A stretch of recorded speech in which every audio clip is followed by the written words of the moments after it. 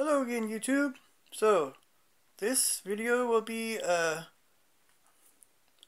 it's a, a bomber from Poland uh, used during the Spanish Civil War and into World War II. It's called a PZL-23B uh, Semolot Bumblebee. I can't really, I'm not really sure how that's pronounced. But uh, it's a 148 scale and it's from Mirage, another kit from Mirage. And I'm hoping it looks just as good as the last one I reviewed. Uh, thanks for watching. And please like and subscribe and ring that bell when you want to see more when I upload new videos.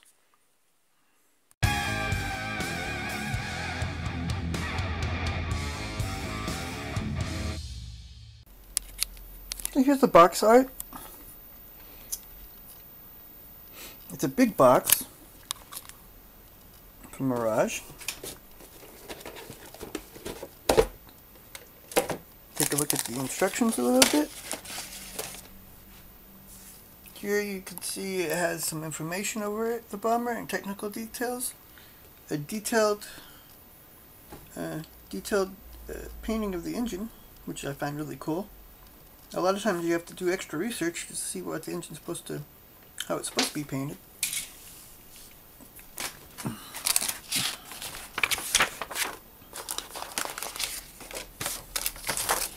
Here we start with the engine.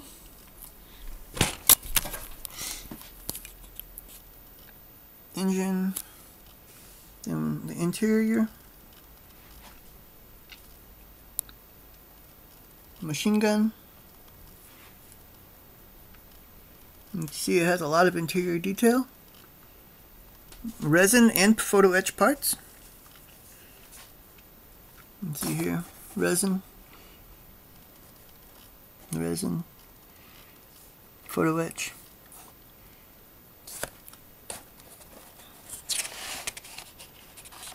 The interior alone has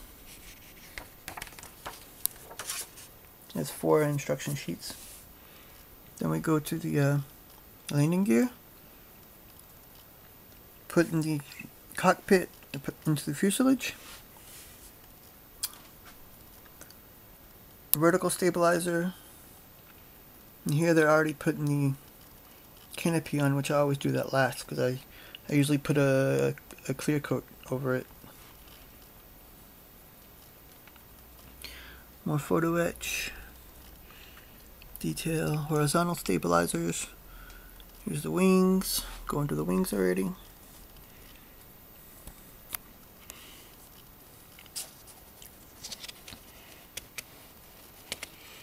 The wing roots here.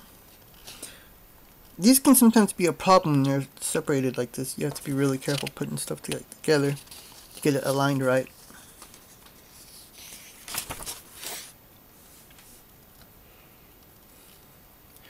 Here's the uh, the bay for the machine gun in the back. Look like exhausts his glob, I think. Putting the wings on, putting the putting the uh, landing gear on. Okay, this is a machine gun underneath. So there's one on top and one underneath.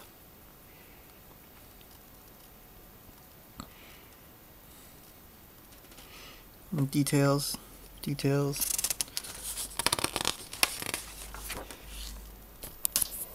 Painting the bombs. The paint chart. The paint chart is in Vallejo. It also has it also has FS numbers for the Vallejo paint. Uh,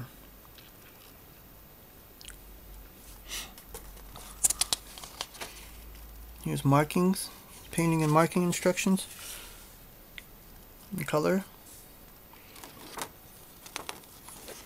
There's four different versions you can make. Here are the decals.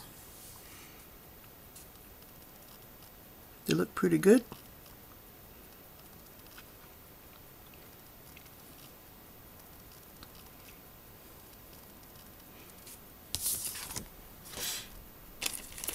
Here are the resin parts.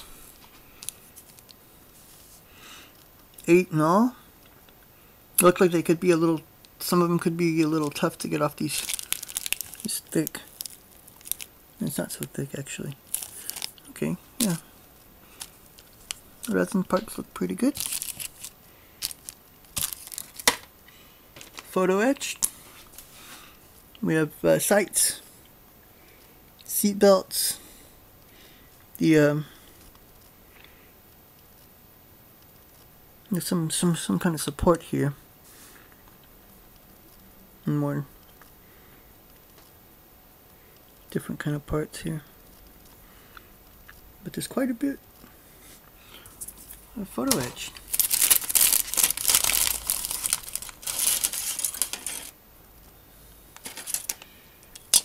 The uh, clear parts look really good.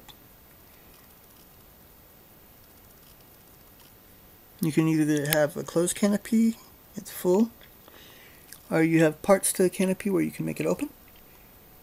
Just, I like to have this option. I like to make mine open when there's a lot of interior detail so it can be seen better.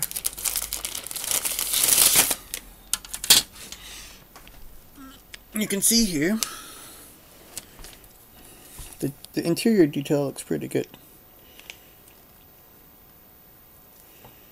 The one panel, here's the other one.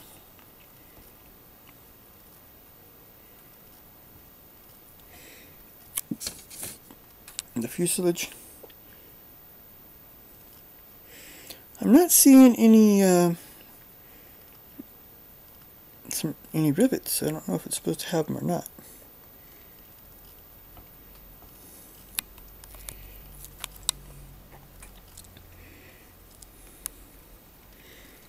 Is the under underside of the fuselage where the ring root wing roots are and the obverse the, the, the top side.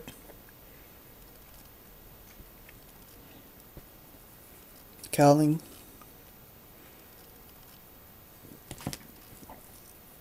No that's a cowling ring and here's the two halves of the cowling. Really don't see any flash. There's a little bit right there I think but it's not any big problem. Like here same on this side. That's not a big problem.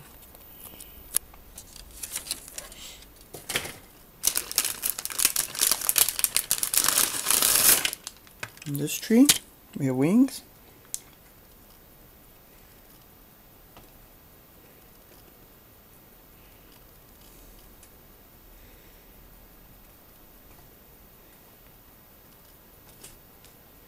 Looks like it has raised panel lines though.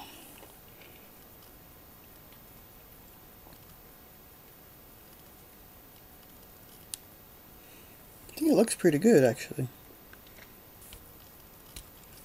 Vertical stabilizer.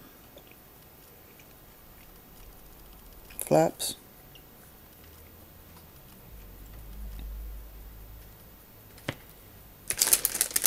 See there's a part missing, but it's here in the bag.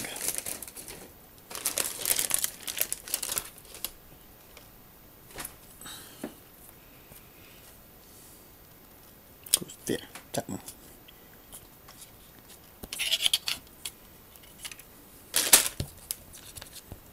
The last tree is all the detail parts, engine.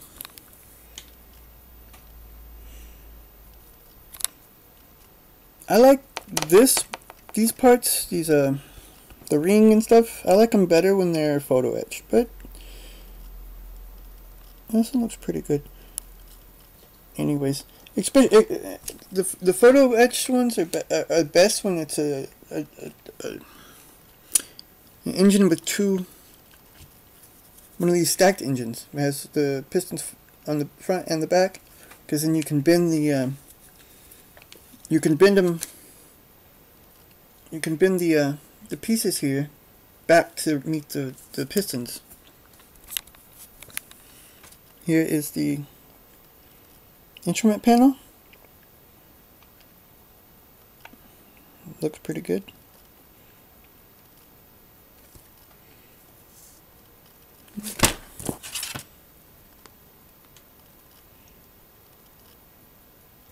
You can't see dials. You can't see dials in there, but let's see on the instructions. But the dials are here. Separate pieces. As decals. Not really a lot of flash to speak of, even in here, in these holes. No flash.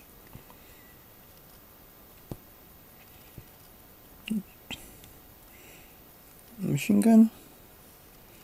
Looks pretty good.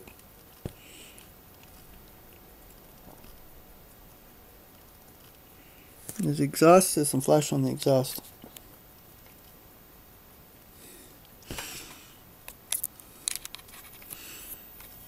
The wheels aren't weighted.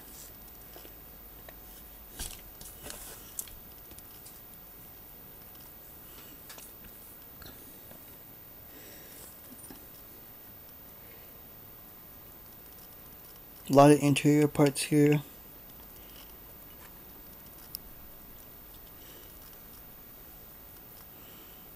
These handles. All in all, it looks like a pretty good kit. See, Mirage, Mirage surprised me with their kits. They're really not very expensive, but they are, are pretty good. There, uh, there, is a bit of a bit of flash, but it's not bad at all. I hate trying to get these parts out though sometimes. I find using a pair of fingernail clippers works a lot better than using the side cutters for models. Especially on these rounded parts. You can get in there better. But sometimes, but, but since the fingernail clippers are curved, you do have to be careful. You don't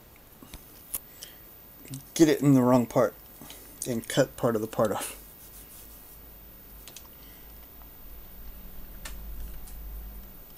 I'm really liking what Mirage does, and I would say this is a good kit.